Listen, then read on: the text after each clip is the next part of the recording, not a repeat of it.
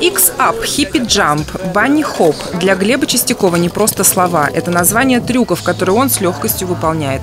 Он спортсмен-экстремал. Признается, самокат – не дешевое средство передвижения. Его стоит почти 50 тысяч рублей. И поэтому так жалко разбивать колеса о тротуарную плитку. А других способов оттачивать мастерство в Звенигороде не было. Приходилось искать оборудованные площадки в Москве или Одинцово. Но это не сложно на самом деле, просто надо понимать, как все делать. Я встал на него где-то года два назад, увидел видосы на ютубе, понравилось, решил попробовать. Теперь попробовать прокатиться на скейтборде, самокате, велосипеде BMX и роликах ребята могут и в родном городе. Сквер на улице Советская стал центром притяжения местных стрит-спортсменов. Скейт-парк построили буквально за месяц.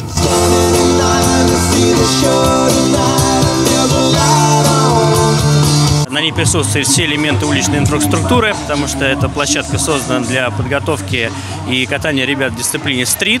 То есть мы видим здесь и грани, и перила, и элементы таких, э, элементы лестниц.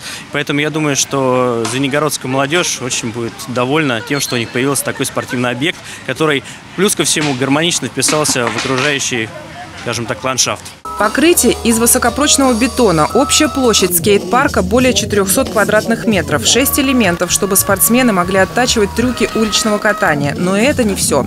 Дополнительно в сквере оборудовали две баскетбольные площадки. Работы по возведению спортивных объектов проводились в рамках губернаторской программы «Спорт Подмосковья». Андрей Юрьевич дал нам поручение разработать и посмотреть, как на территории Московской области развиваются экстремальные виды спорта и существует ли необходимая инфраструктура. И мы, начиная с 2018 года, ежегодно закладываем закладываем у нас государственную программу «Спорт Подмосковья» по поручению нашего губернатора строительство таких современных, хороших бетонных скейт-парков. В том году мы построили 10, в этом году еще 6. Первое мы сегодня открываем здесь, в Звенигороде. Еще запланировано в самом Одинцово, в Лыткарино, в Нарафаминске, в Реутове. Конечно же, эти объекты пользуются огромным, огромной популярностью у молодежи. Они всегда загружены, всегда на них большое количество детей, ребят. Очень приятно, что молодежь, э, наше современное поколение выбирает здоровый образ жизни. Это правильный выбор.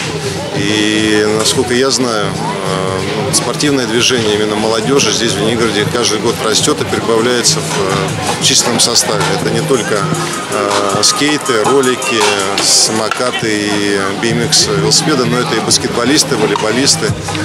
Но я надеюсь, с появлением нашего большого комплекса «Спартак» еще будет активно и футбол здесь развиваться, как это было когда-то в советском еще Звенигороде.